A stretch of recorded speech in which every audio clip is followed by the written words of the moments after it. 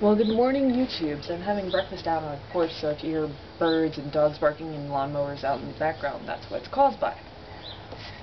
You know, sometimes there's parts of my brain that just really want to believe or to think that there might be something else out there.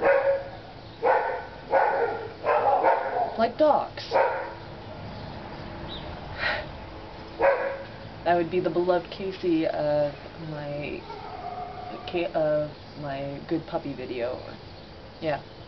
Anyway, um, there are sometimes parts of me that want to believe, and that want to think there's some other higher force out there. Now, now in my case, it's certainly not an Abrahamic. But, you know, my name is Raven Blaze. Or Raven Blaze, however it happens to be. And part of that is because I do feel a connection to ravens. Um, because no matter how hard I tried in high school, I tried to find a different name for this dark, gothic-y archetype of a character I was looking with, and which has basically followed me ever since I was in high school. I created the archetype as kind of like a dream lover, um, and yet through over, over the years, I've become that character. Not transforming myself into that character, but adapting that character to me and as a way to describe and get out my feelings about the world around me. Like my longing for a mate, or the struggles I go, I'm going through with changes in life, or different things going on with my family, or just, you know, I'm a creative, activist, uber crazy individual. And there's some people who don't like me for that.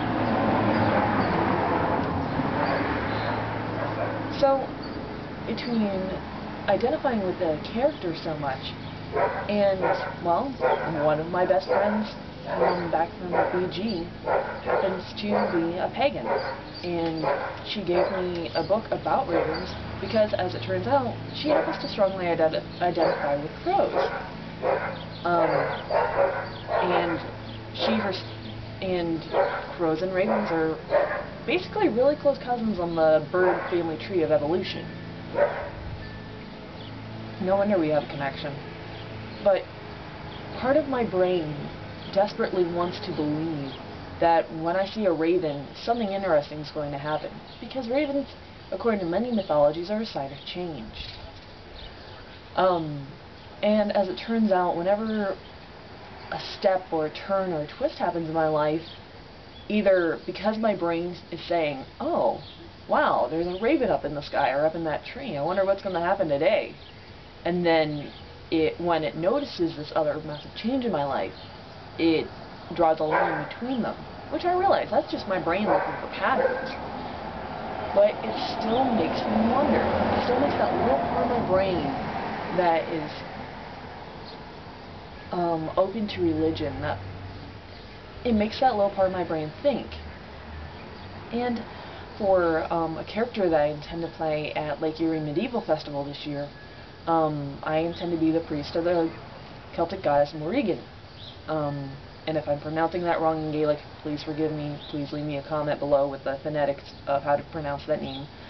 Um, one of Morrigan's symbols is the raven, because she's a Celtic goddess of fate. When she's particularly in raven form, she's a Celt she's a Celtic goddess of war and of battle, and is to some degree like a Valkyrie. When she's in that state, she's actually she's got a lot of different characteristics to her. But I'm going to be playing a priestess to the goddess Morrigan. And I don't know. Just ever since I started playing with the Raven character and writing about her, I've kind of had a connection to ravens. And, you know, I have to admit, whenever I see a raven up in a tree, I'm just like, hi friend, you know, positivity, positive energy. But